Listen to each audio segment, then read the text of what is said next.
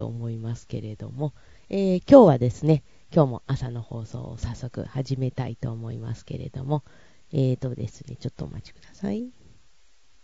あ、あ、あ。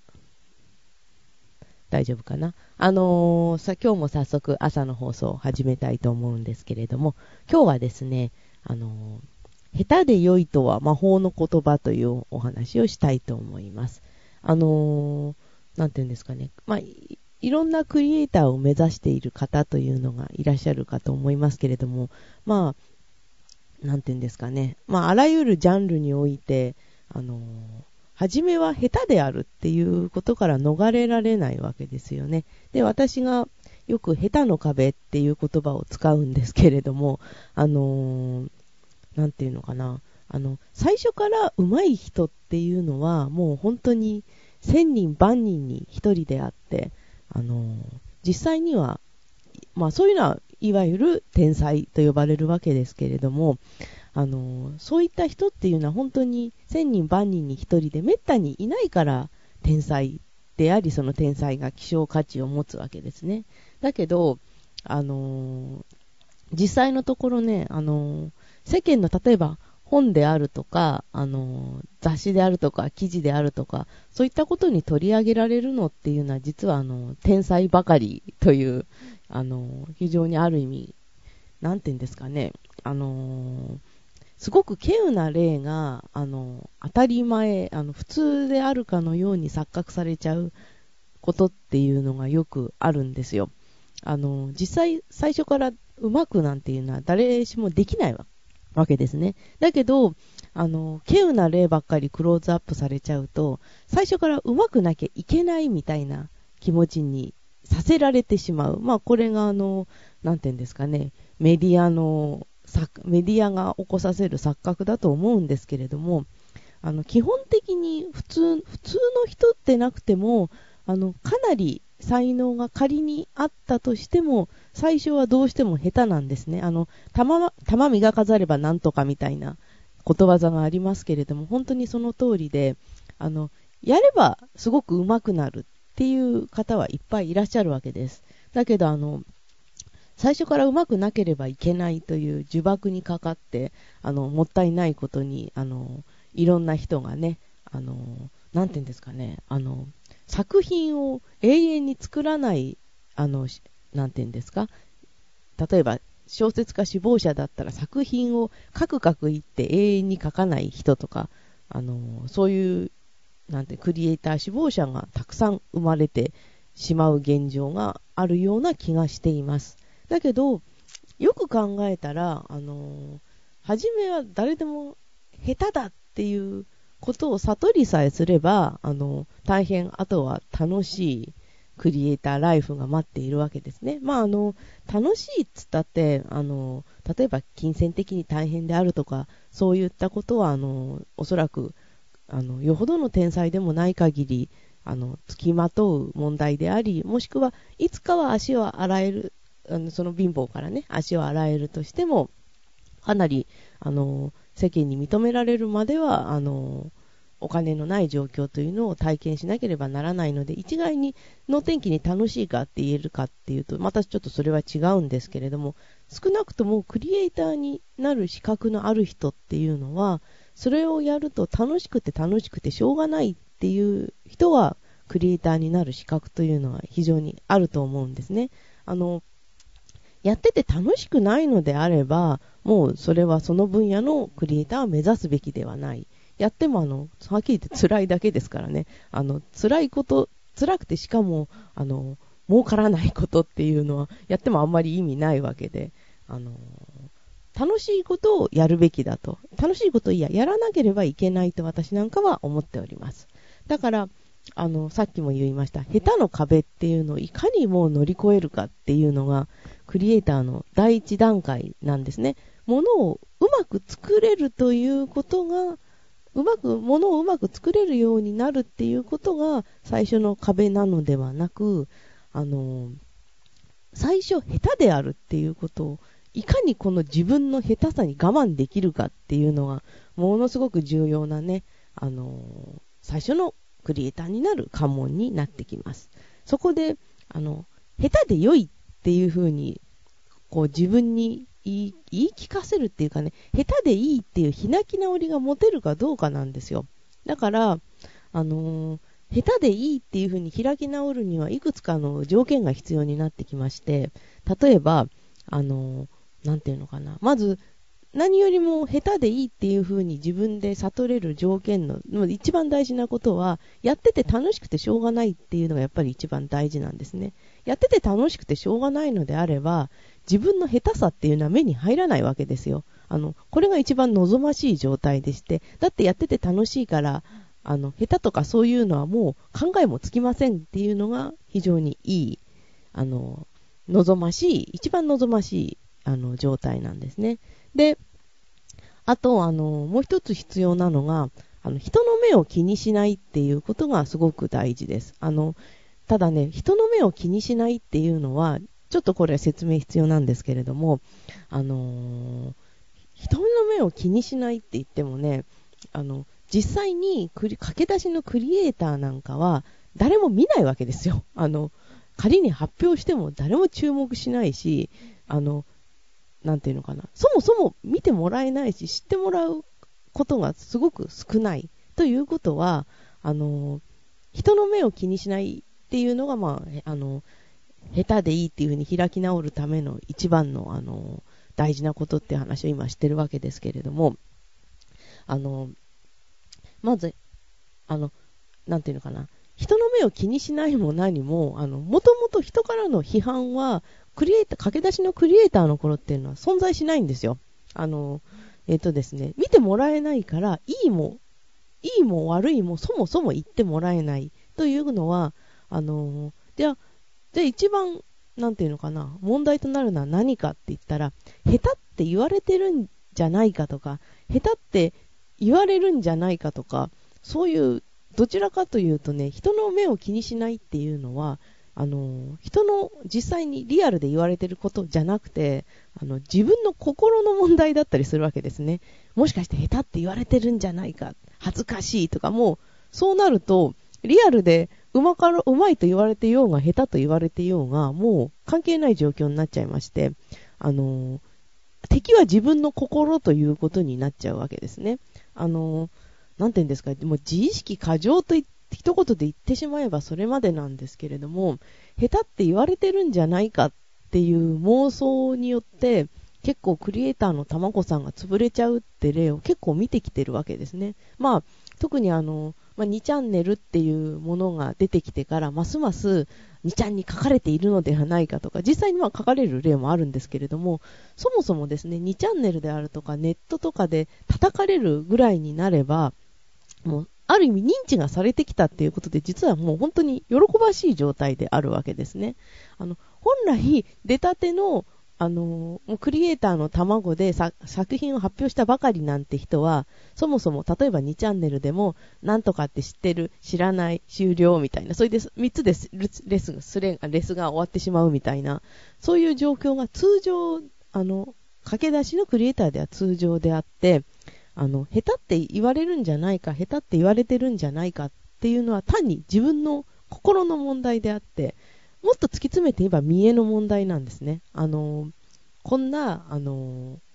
なんて言うんですか、あの、下手なものをあの発表すると何か言われるんじゃないかっていうのは、もうそこで自分の作品を下手だっていうふうに、あの、なんて言うんですか、えー、良くない評価をしてしまってって自分で自情自爆に陥って物が作れなくなるっていうのはあのすごくよくあることなのであの皆さんですねあの物を作り始めたばかりの頃はですねあの下手であるとか下手でないとかっていうことはもう範疇にの外に置くべきだとまあ私なんかは思うわけです。実際にその方が絶対いいというのは断言できます。でまたねあのー、私がよくまたこれも言うことなんですけれども、物事はスイッチじゃなくてスライダーで考えるべきだっていうことをよく言うんですね。で、スイッチで考えると、オン、オフで考えちゃうと、あの、今私の言ったことなんかは、あのー、オン、オン、オフで、あの、まとも、あの、なんて言うんですか、スイッチで考えられちゃうと、あのー、なんて言うんですかね、えー、えーと、下手でいいんだったら、下手でいいんだみたいな、あの、そうすると、延々と、あの、下手なままのものを作っても良いということになってしまうんですね。で、ここはまあ本当にあのスライダーで物事考えなきゃいけなくて、大事なのはバランスなんですよ。で、永遠にもうあの、下手でいいって言って突っ走ることもまあそれはそれで、あの、悪くはないのですが、やはりできればあの、技術は向上するに越したことはまあ、ここがね、ちょっとまた難しいんですけれども、少なくとも将来、その、クリエイトしていくことでご飯を食べたいとか、多少なりともお金を得たいみたいなことを考えた場合はですね、あのー、やっぱり多少技術は向上した方がいい。となると、あの、下手でいいっていうふうに当初、始めたばかりの頃は下手でいいっていうことで、内容は問わないという、まず、ものを作る。下手でもいいからものを作ることが先決なわけですけれども、だんだんだんだん、あの、ものを作る状況に慣れてきたらですね、やっぱりあの、もうちょっと上手くなりたい、うまいもの、いいものを作りたいっていうふうに考えるようにしていくことも大事です。で、またね、あの、2枚な、なんていうのかな。私ね、すごく思うんですけど、なんか守備一貫していないっていうことを、どうも世間ではものすごく非難するようなんですけれども、あの、最初から最後まで守備一貫していなきゃいけないなんていうのは、一体誰が決めたんだっていうふうに思うんですね。例えば、政治とかね、そういうことだったら、最初から最最後まで守備一貫していないと、まあいろいろなものが混乱するっていう、それはわかる。だけど、一人でものづくりをしているときに、最初から最後まで守備一貫していなきゃいけないなんていう決まりはないわけですよ。で、あのー、なんていうのかな。最初はこう考えてたけど、やってるうちにこういう考えになったからこう変えましたって言って、まああの、非難する人も中にはいるかもしれませんけれども、あの、最終的に、まあ、クリエイターというものは、良いものを最終的に、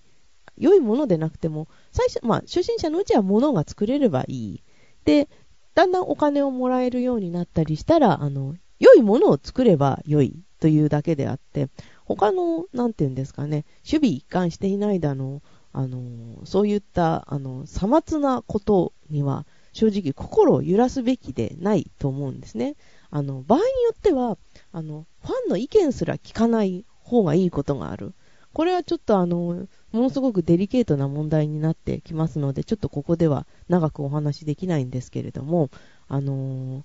ファン、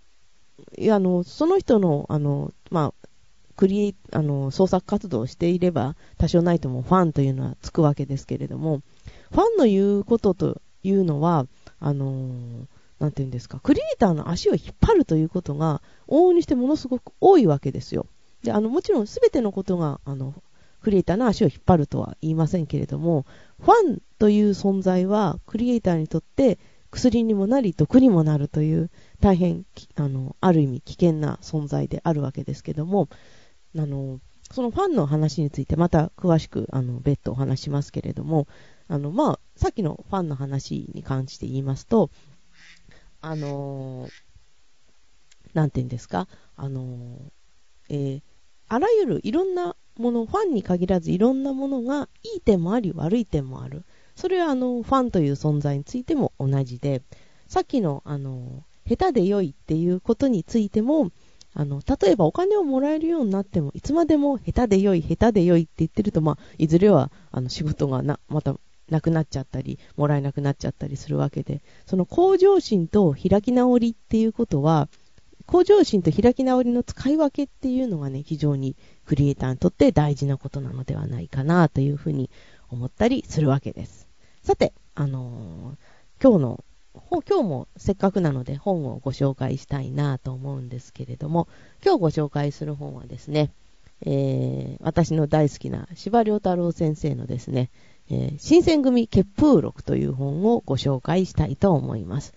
この新選組結風録という本はですね、はい、この新選組結風録という本はですね、あのー、まあ、私の大好きな、まあ皆様ご存知の方いらっしゃるかと思いますけれども、歴史小説の大家、司馬遼太郎先生の書いたですね、あの、短編、短編連作の、あの、本なんです、小説なんですけれども、まあ、新鮮、幕末に活躍って言ったらいいのかわかんないですけど、まあ、幕、幕末に大いに活動した新選組という、なんて言うんでしょうね、あの、警察組織でしょうね。あの、警察組織のですね、あの、いろいろな出来事をですね、あの、短編連作で小説としたものなんですけれども、司馬遼太郎さんのすごく、あの、特徴としてはですね、初期の作品はともかくかなり、あの、作家として練れて、あの、ベテランとなってきた頃になるとですね、非常に文体が練れてきてですね、あの、例えば司馬太郎さんが、あの、ライトノベルを書いても全く違和感はないだろうという、なんて言うんでしょうね、年齢を感じさせない、あの、なんていうか、歴史小説っていうとなんかものすごく、あの悪いく言えばおっさん臭い文体、おじさん臭い文体、古臭い文体というのになっていく人もいらっしゃいますけれども、司馬遼太郎さんは年を経るごとに、どんどんどんどん文体が丸くなっていきまして、仮に司馬遼太郎さんがライトノベルを書いても全く違和感はないだろうというようなあの、文体に最終的にはなっているわけですけれども、この新選組結風録も、あの、なんていうんですかね、あの、ライトノベル感覚で読める、非常にね、あの、柔らかい文体で書かれている、えー、小説であります。あの、特に、えっとね、まあ、小説を書くときによく言われる話ですが、あの、小説の長さは登場人物の人数で決まるという話をあの若崎健先生がおっしゃっていたんですけれども、それは全くその通りで、例えば新選組なんて結構出入りが多かったので、人数がどのぐらいいたかっていうのはちょっとわかる、あの、ちょっと今パッと答えられないんですけれども、あの、新選組なんかは結構人数が多い大所帯の組織なので、た、確か、あの、あれより、中心ぐらいより多いでしょ。あの40何人とか、多分100人ぐらいいたんじゃないかな。すいません。ちょっとその辺は今ネットが引けないので、ちょっと確か、確かめることができないんですけれども、新選組という大所帯であれば、その人の数だけ特にね、あの、エピソードがあるわけですよ。で、あのー、そういった一人一人の隊員のね、に、あの、スポットを当てたりして、あの、普通、まあ、新選組と言いますと、あの、あの局長の、えー、近藤勇、えー、副長の土方歳三で一番隊隊長の、えー、沖田総司あたりに、あのー、なんていうんですか、注目が集まるわけですけれども、あのまあ、これはそういった大所に限らず、あのいわゆる無名の大使にもあの目を向けてあって、とってもあの短編連作なのですごく面白いあの、なんていうか、すぐさっと読1話あたりさっと読めて、すごく面白いので、特に司馬遼太郎さん、司馬遼太郎さんの本ってね、すっごい、すごい面白いんですけど、長いんですよね、どれもこれもね。だから、あの、その長い門を読み続けることがちょっと苦手という人にとっては、この司馬遼太郎さんのこの短編集は大変おすすめです。あの、時々ね、長編上手い人で短編がめっちゃ下手っていう作家さんもたまにいらっしゃるし、その逆もし、あいらっしゃるんですけども、これについてはもう、司馬太郎さんはもう短編の名手でもありますので、全くそのあたりは心配なくお勧めできます。あとね、まあこれはちょっと余談になるんですけれども、あの、新選組結風録を読んでると、あの、バンバン人殺すんですよね。あの、なんて言うんですか。で、これを、なんていうのかな、暴力肯定と言われちゃうと本当身も蓋もないんですけれども、あの、人殺しっていうね、今では当然、当然ね、犯罪になるようなことなんですけれども、あの、もちろんダメですよ。あの、人を殺したりしたのはすごいダメなんですけれども、あの、そういう当然、当然罪になると今思われていることでもですね、あの、時代と状況が変われば、あの、当然のようにもう、ほんと毎日の人を殺すわけですよ。それどころか、あの、仲間も、あの、あいつは、あの、弱虫だっていうことで、ふさわしくない殺せみたいな、切腹を命ずるみたいな、そういうことがもう本当に日常茶飯事に新選組の中ではあったようで、そういった当然の、今当然と言われていることでも、状況と、あのね、あの、状況等が変われば変わることがある。あの、まあ、人を殺すなんていうのは日本、あの人間のもう最もやってはいけないことではあるんですけれども、あの、状況とか法律とか立場が変われば、あの、そういった当然のこと、当然の罪す、当然の犯罪すら犯罪でなくなってしまうというところも、実は私としては見どころだと思っています。じゃあ、そういうわけでですね、今日も朝の方、朝がもう本当にね、こんな休日の朝から見ていただいて本当にありがとうございます。えっ、ー、とですね、次の、あのー、放送は、もう明日の朝行いますけれども、もしかしてまたね、突発的に何か、えー、中継をするかもしれませんが、その時はどうぞお付き合いください。朝から本当にありがとうございました。お相手はバーバラ・アスカでした。